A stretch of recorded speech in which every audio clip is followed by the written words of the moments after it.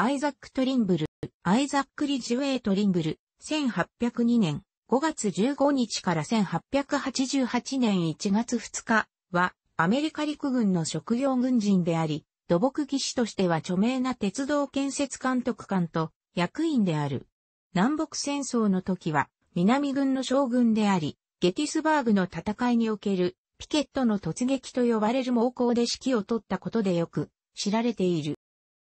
トリンブルはバージニア州カルペパー郡で生まれた。ケンタッキー州に転し、そこでウェストポイントの陸軍士官学校入学を指名され、1822年に卒業して砲兵隊の少尉に任官された。第3及び第1アメリカ砲兵隊で勤務し、勃興しつつあった鉄道建設事業に入るために1832年に陸軍から除隊した。トリンブルは、ボルティモアオハイオ鉄道の建設路の測量に貢献した。ボストンプロビデンス鉄道とペンシルバニア鉄道の前身であるボルティモアサスケハナ鉄、フィラデルフィアウィルミントンボルティモア鉄道、及びボルティモアポトマック鉄道の建設技師を務めた。その監督官としての最後の仕事で、高級的にメリーランド州に移転した。トリンブルはメリーランド州がアメリカ合衆国から脱退しないと分かったとき、バージニア州の故郷に帰り、1861年に公平大佐として南軍に入隊した。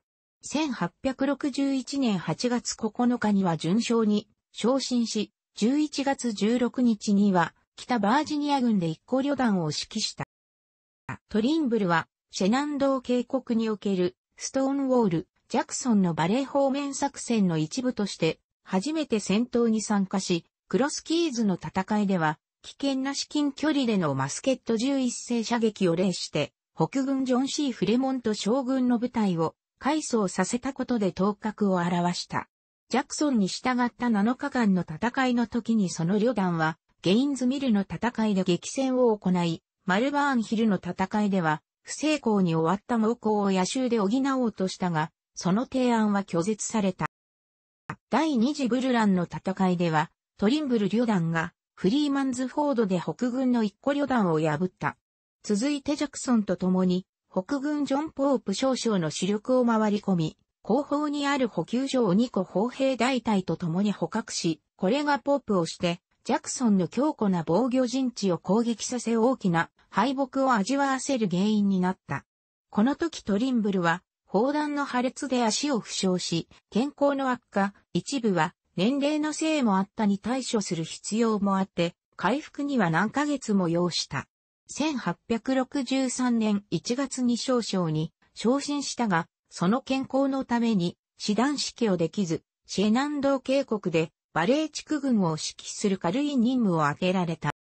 1863年6月、ロバート・イー・リーの北バージニア軍は、ポトマック川を越えて2回目の北部侵攻を行い、トリンブルは鉄道建設でその地域に詳しかったこともあって、野戦式に戻ることを絶望した。トリンブルは未承認のまま、リーの作戦本部に加わったが、正式な任務もなくて、うろうろしていることに疲れてしまった。トリンブルは北に向かって、ペンシルベニア州ハリスバーグに向かうリチャード・イーウェル、中将に追いつき、インズル外として、すなわち指揮を取らない、古参士官としてその参謀に加わった。トリンブルとイーウェルはこのややこしい関係とトリンブルの起点の無差のために、しばしば喧嘩した。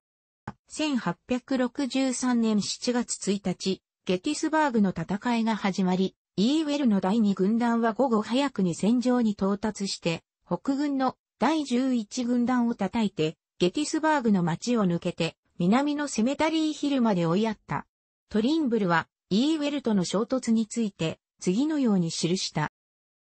この様子を見ていた者の証言によれば、イライラした答えとは、私が下級士官からの助言を必要とするときは、概して私がそれを求めるだった。さらにトリンブルが、不快そうにその剣を投げ捨てて、荒々しく出て行ったと報告した。この証言を、さらに脚色したものが、マイケル・シャーラの小説、ザ・キラー・エンジェルスに取り上げられている。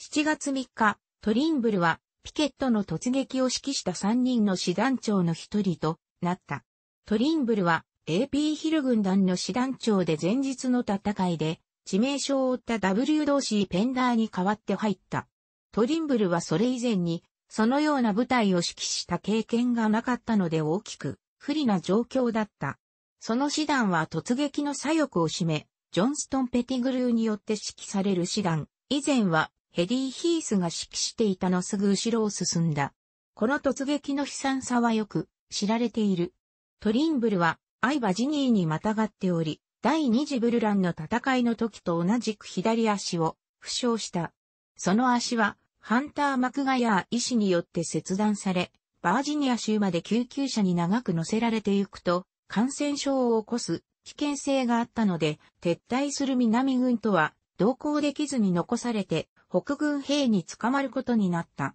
ゲティスバーグにおけるその突撃について、トリンブルは、あの日私が指揮を取る栄誉を担った部隊が、あの陣地を取れないのならば、地獄でも取れないだろうと語った。ゲティスバーグは、トリンブルの軍歴にとって終わりとなった。その後の1年半は、北軍のジョンソン島とオーレン砦にいた。捕虜になってから間もなく仮釈放を進められたが、元アメリカ合衆国陸軍長官、サイモン・キャメロンがトリンブルは北部の鉄道に精通していることを挙げて、それに反対した。南軍リー将軍が降伏した直後の1865年4月16日、トリンブルはバージニア州リンチバーグで釈放された。戦後、トリンブルは義足を装着してメリーランド州に戻り、土木技師としての仕事を再開した。ペンシルバニア鉄道の記録では1867年7月にボルティモアポトマック鉄道の主任技師を辞職した、されている。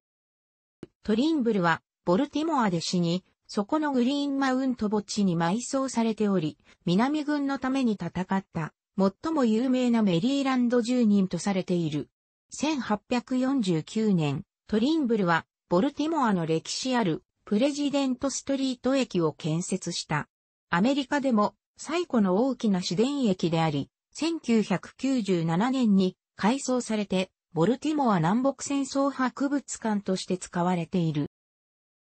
1993年の映画、ゲティスバーグ及び2003年の続編、神と将軍では、俳優 W. モーガン・シェパードがトリンブルを演じた。